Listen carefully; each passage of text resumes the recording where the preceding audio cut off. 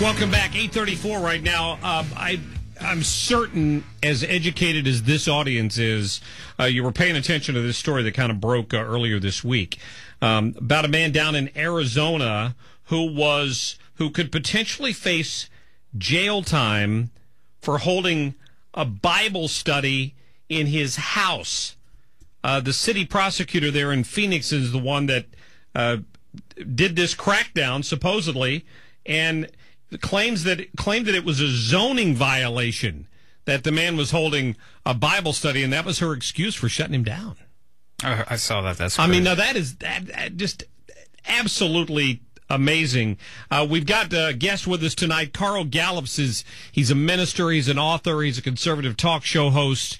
Uh, he's a, he's got a book called The Magic Man in the Sky that's available uh, right now, and we can talk more about that in a minute. But uh, uh, Mr. Gallups, thanks for joining us tonight. Hey, Mark, it's a, it's my great pleasure to be with you. Well, I appreciate you joining us. Now, you you've looked into this situation down there a little more closely than I have at this uh, point. Uh, wh- what in the world is going on? I mean, yeah. th- this is going to a judge is going to decide sometime in the next week if this man faces jail time. Yeah. Oh, yeah. It's bizarre. I'm telling you. Yes, I have looked into it uh, deeply. As a matter of fact, I have an anecdotal story a little bit later on. I've actually lived a little bit of what this guy is living and fought the state of Florida and won. So I can speak with uh, quite a bit of authority on this situation. Wow. You, you know, I've done uh, several interviews on this topic uh, uh, uh, across the nation um, since this story has broken.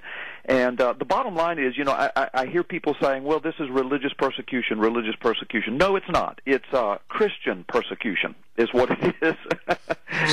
in other words, there, there, to my knowledge, from everything that I've been able to investigate, there, there has been no uh, there has been no charges similar to this uh, with any other uh, religious group uh, anywhere in the city. That uh, you, you know, I can't can't you imagine that somewhere there are Muslims studying the Quran in their I homes? suspect, and, and I mean, just for example, because I, I I was a reporter for 25 years, a television reporter. I, I'm, I'm I almost find it hard to believe that a legitimate city prosecutor would would do this under the guise of some sort of zoning violation, because often those are enforced by administrators of some sort and not the city prosecutor. What brought this this gentleman to her attention? Well, you know, I don't really know uh, it, it, unless neighbors reported him or something. But but look, Mark, I want to read the, her. This is her comment from the Fox News report. This is her statement. Listen to what she says. Quote: It came down to zoning and proper permitting," said Vicki Hill, uh, the chief assistant to the city prosecutor. Quote: Anytime you're holding a gathering of people continuously, as he does we have concerns about people being able to exit the facility properly in case there's a fire. And th- and listen to this, Mark. And quote, that's really all this comes down to. Well, now, Mark, if that's true, if that's all this comes down to, this guy should win this case hands down. right. because I mean, this is her quote. Because here's here's the thing, and I know your listeners are extremely uh, educated and and they're bright, uh, and and so let's just think this through. All right, so the guy's holding a Bible study. It starts off in his living room. He has 15, 16 people, and he's and and and police get search warrants, and they burst in into his home when he's got 15 people in his living room studying the Bible. Now that's according to the Fox News report. It escalates from there over the uh, over a couple of years as he uh, tries to battle this. He says, "Look, I'm just having a Bible study in my living room." Well, you know, Mark, just think about it, you and your audience. Well, what's the difference between that and and having 15 people over to watch porn every Friday night, or to have a fantasy football uh, club every Friday night, which or, you know happens? Yeah, absolutely. I mean, that happens every day oh, sure. somewhere. Sure, sure. And so, so why is it, you know, that he's being singled out? Now, he's an ordained pastor. He owns Mike's Burgers or something like that. He owns a burger joint. right. He's a businessman. Uh, somebody, somebody has zeroed in on this guy who's an anti-Christian, an atheist, or something like that. Uh, you know, apparently there's some, and I'm just generalizing. I'm guessing here, but apparently there's some leftist in the government. But listen, listen. Here's the deal when government figures out that it can use. Now it's it's doing it illegally but when it figures out it can use zoning and safety codes to regulate um, uh, a, a church for example or a religious gathering it it it, it gathers steam, it gathers uh, it, it gathers power, and what happens is then the government uh, has a tool whereby it can shut down a religious study group or you know more exactly a a church. Let right. me tell you what happened to me, guys. I'm a pastor, 25 year senior pastor in a church in Florida, large church, large Baptist church. And some years back, the state of Florida passed something very similar to what this guy is dealing with in Arizona. It's called Life Health Safety Inspection. And the purpose was that they were going to go into public buildings and they were going to inspect for fire extinguishers and safety exits, et cetera, et cetera. And churches were not exempt. Well, I had some of these inspectors show up at my church one day and said, We're coming into your church and we're going to inspect your building to see if you have uh, fire extinguishers and safety exits. Well, now this is a building that's been in use for years. It's a big church. Of course, we we have all of those things. And I told them, I said, wait a minute, before you come in, let me ask you something. What happens if I don't let you in the, the door? Well, you have to. I said, no, I don't. We're not a we're not a public building. We are a private uh, building. Now, it's open to the public, but we're not selling anything here. This is not a business. This is a church. We're protected by the First Amendment. We can meet in a tent if we want to, Mark. I mean, did, people meet in tents. Did they inspect the local mosque? Uh, oh well, of course not.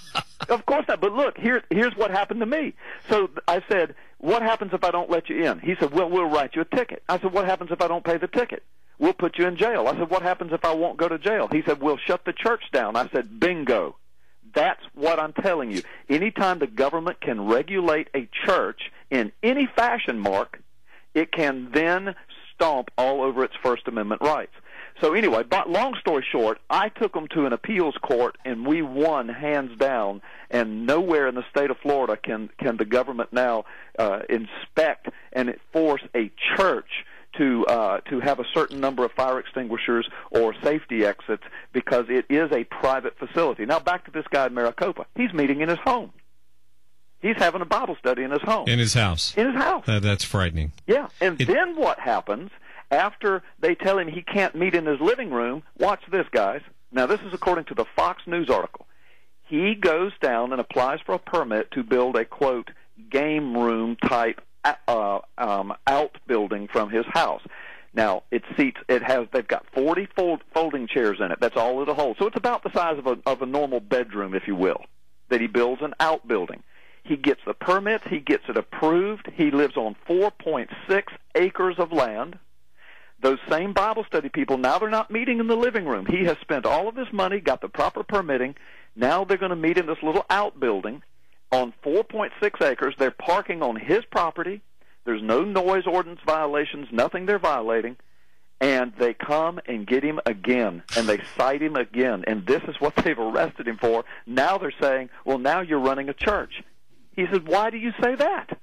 Well, because you've got a separate building. He said, but what's the difference in me having this and a bunch of guys down the street building a little outbuilding on their property and having a theater and showing movies every Monday night and having twenty, thirty people over, having parties. Yeah, but you can't have Bible studies. He said, "Oh, really? Why wow. is that?" Well, because that violates codes. What codes? Safety codes if you're going to have a church, you've got to have safety codes. Whatever code they can uh, dream up next, it sounds like, doesn't it? Of course. So, as I said, as I started the show by saying, this is not religious persecution. This is distinctly Christian persecution. And according to the, the assistant prosecutor, the uh, chief prosecutor, her assistant, according to this statement in the lead of the article, if this, she says this is all it comes down to, quote, and that's really all this comes down to, if that's true, then he can win this case hands down if he'll get him a good attorney. But right now, it looks like he's headed to jail under their laws, and it's an absolute travesty of justice.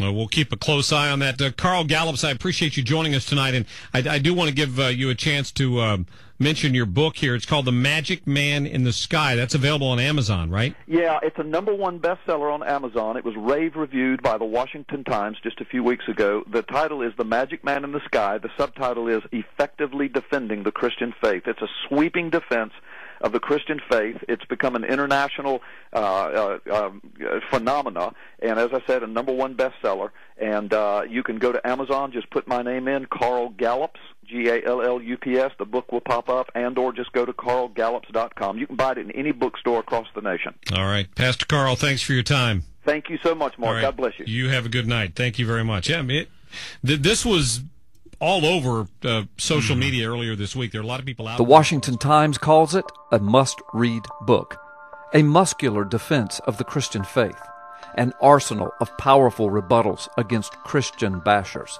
Amazon Books calls it a number one bestseller. I call it blessed and used by the Lord. Considering the times in which we now live, you need this book. Available at Amazon.com and the WND Superstore.